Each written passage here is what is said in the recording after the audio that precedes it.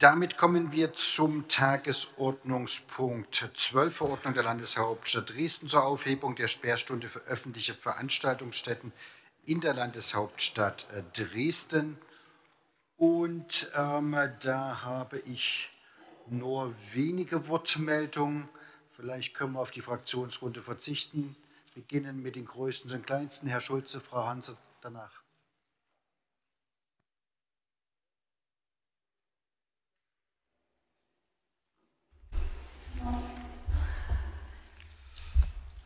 Sehr geehrter Herr Oberbürgermeister, sehr geehrte Kolleginnen und Kollegen Stadträte, liebe Clubbetreiber. Die letzte Sperrstunde in Dresden ist in greifbare Nähe gerückt. Mit der Vorlage beschließen wir die Aufhebung eines längst überholten Reliktes und befreien die Dresdner Veranstaltungsstätten und Clubs von der Restriktion, ihre Gäste kurz vor 5 Uhr nach Hause schicken zu müssen.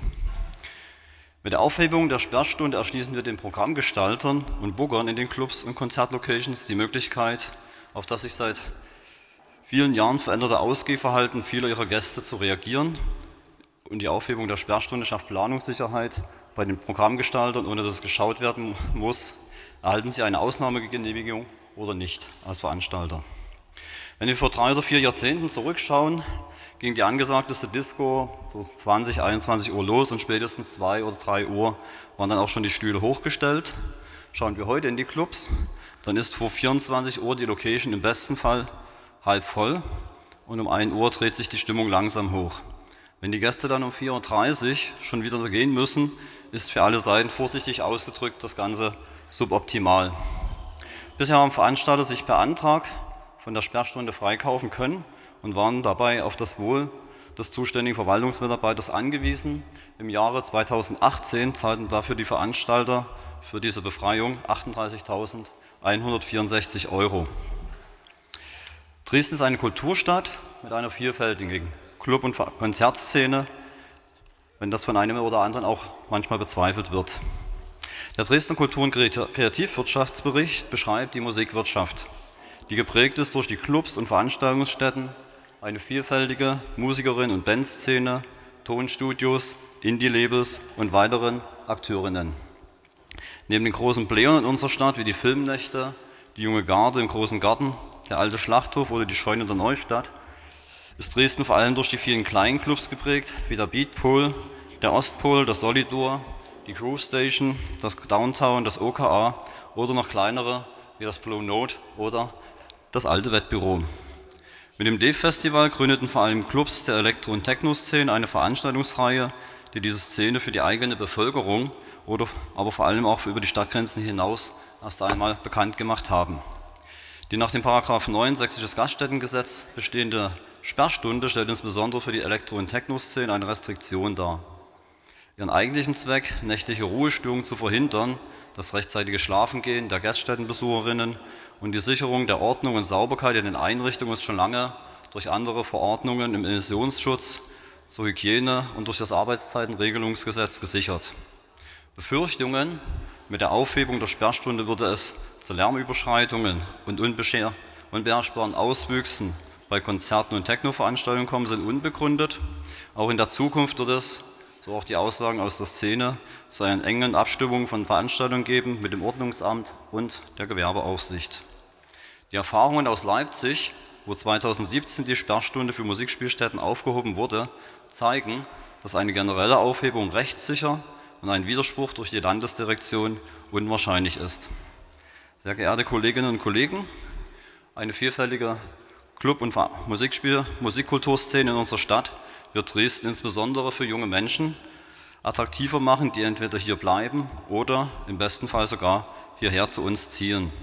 Mit ihren Umsätzen leistet die Musikwirtschaft ihren Beitrag als Teilbranche der Kultur- und Kreativwirtschaft für die, für die wirtschaftliche Entwicklung unserer Stadt. Lassen wir lieber die Clubs das Geld, welches sie für den bisherigen Freikauf von der Sperrstunde ausgegeben haben, in ihre Spielstätten und ihre Mitarbeiterinnen investieren. Bitte stimmen Sie der Vorlage in der Beschlussfassung des Ausschusses für Wirtschaftsförderung zu für eine vielfältigere Veranstaltung und Clubszene in Dresden. Vielen Dank.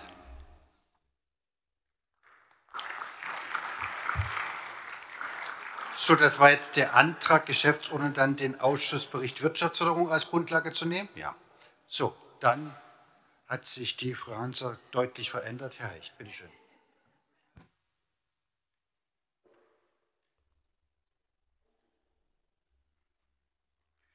Ja, äh, sehr geehrter Herr Oberbürgermeister, Kolleginnen und Kollegen, wir verhandeln die Aufhebung der Sperrstunde, das finde ich gut und auch lange überfällig. Wenn ich persönlich zurückdenke, ist, glaube ich, die restriktive Sperrstunde meiner schwäbischen Kleinstadt eine der Gründe gewesen, weswegen ich dann äh, unbedingt früher oder später dort weg musste. Insofern stimmt, was der Kollege gesagt hat. Äh, es gibt sozusagen schon einen Zusammenhang mit Attraktivität oder auch hier in dem Fall mit Wanderungsbewegungen. Äh, die Sperrstunde finde ich anachronistisch.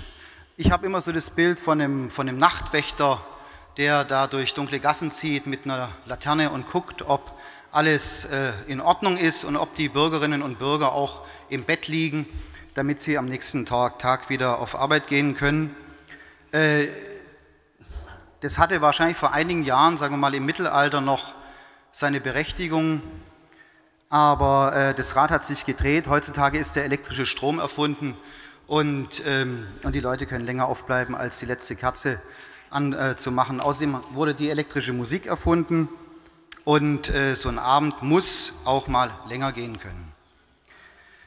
Äh, dann natürlich das Thema Nachtökonomie. Das ist so eine Sache, die wird erst in den letzten Jahren erforscht. Also tatsächlich ein doch beträchtlicher Teil der Wirtschaft, der sich sozusagen in der Stadt nach acht dann abspielt. Äh, unter anderem eben natürlich dann mit Effekten wie Attraktivität, nicht nur für die Kreativwirtschaft, sondern auch eben für junge Leute, für einen Studienstandort nicht ganz unwesentlich, wo man ist. Die Nachtökonomie, das ist also der wirtschaftliche Aspekt hier, die muss man einfach laufen lassen. Jetzt, was die zeitlichen Beschränkungen angeht, das ist meine Meinung dazu.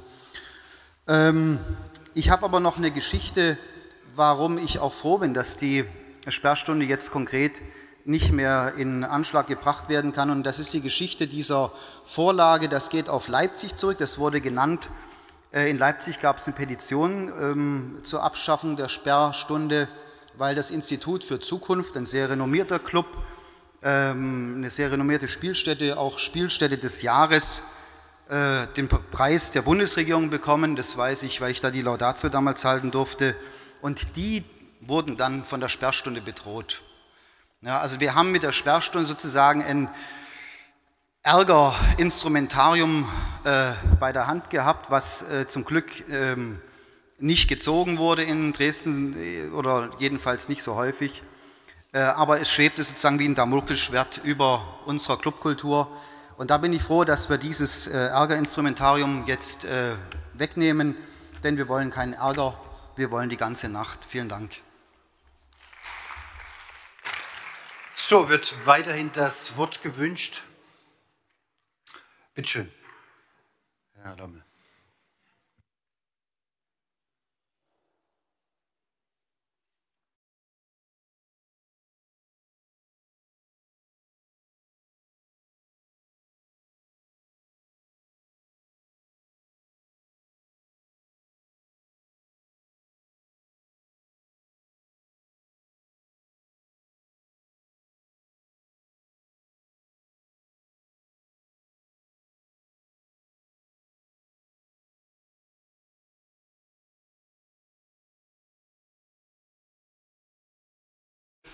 Und auch hier kann jetzt im Rahmen von Corona vielleicht im einen oder anderen da eine Hilfe stattfinden.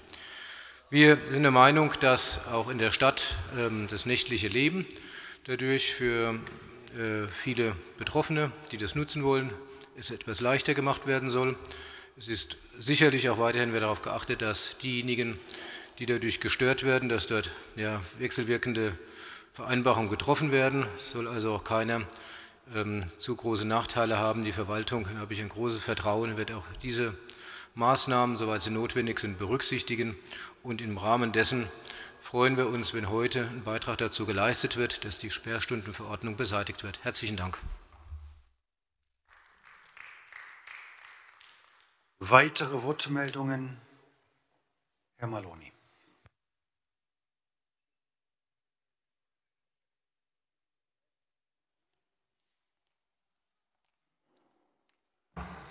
Sehr geehrter Herr Oberbürgermeister, sehr geehrte Damen und Herren, ich mache es ganz kurz. Äh, so wie es Thorsten Schulze gesagt hat, vielleicht noch mal ein bisschen kurz zusammengefasst in einem Satz. Sperrstunde ist Mist, Sperrstunde ist antiquiert und Feiern macht eigentlich äh, zu jeder Tageszeit Spaß. Ähm, eine Bitte nur, wir sind uns alle sehr einig, wir waren uns im Wirtschaftsförderungsausschuss dazu sehr einig, das ist wunderschön. Äh, bei ähnlichen Vorlagen, wo es auch darum geht, mal vom antiquierten Wochentag, Wochenende denke, mal hin an der einen Stelle hin und wieder mal abzuweichen und einfach mal den Leuten mehr Freiheit zu geben und einfach mal selbst entscheiden zu lassen, in Zukunft auch bei anderen Themen mit zu berücksichtigen. Vielen Dank. So, weitere Wortmeldungen sehe ich nicht. Dann steigen wir ein in die Abstimmung. Es ist beantragt worden, äh, den ähm, Ausschussbericht Wirtschaftsförderung als Grundlage der Abstimmung äh, zu nehmen. Ich würde das mal so machen, damit wir uns eine Abstimmung sparen, dass ich das als einen Ersetzungsantrag werte. Wenn der eine Mehrheit hat, ist er direkt beschlossen. Ähm, sonst müsste ich zweimal abstimmen. Das kommt dann meistens auf selber raus. Wenn Sie damit einverstanden sind. So, dann äh, darf ich fragen, wer diesen äh, Wirtschaftsförderungsausschuss ersetzen, zustimmen möchte. Den bitte ich jetzt um sein Stimmzeichen.